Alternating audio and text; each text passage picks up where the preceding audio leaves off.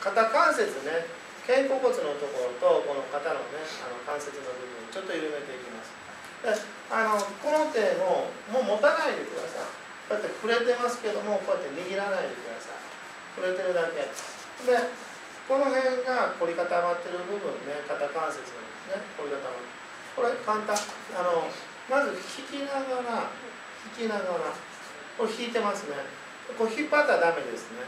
例えばあきちゃんあ、うん、あ2人でも持っておいてあのそこ持っておいてくださいね。引っ張ったら2人は踏ん張るからダメです引っ張るんじゃなくてただ関節を緩めるだけ。でこれ持たなくていいですこうやって触れてるだけ。触れてるだけ。緩んでからこうしますから。ね、だからこのままの状態で触れて緩ましておいてあとはこっちの手とこっちの手のバランスを作っておく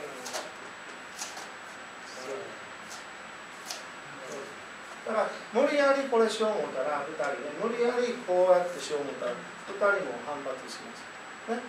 あの軽く緩めといてこっちの手とこっちの手バランスを取りながらこれを押さえてあげます。うん。ね、これバランス取るバランスだからこの肩の関節この部分が緩んできますから、ね、こう触れます。触れてます。触れてます。でこれで緩んでます。緩んでます。で今度はこの動きですね。この動き。はい。こう。絶対押さない。押すとこ。う動かない。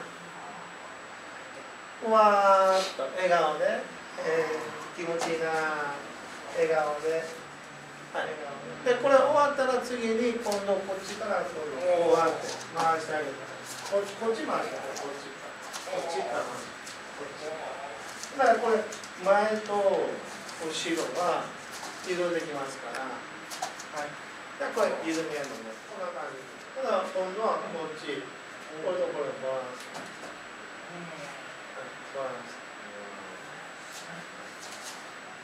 は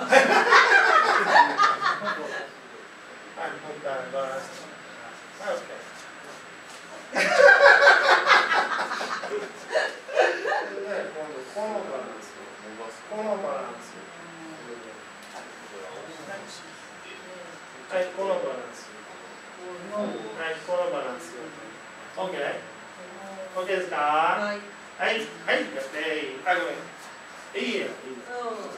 だんだん、だんだんゆっくりなってきた。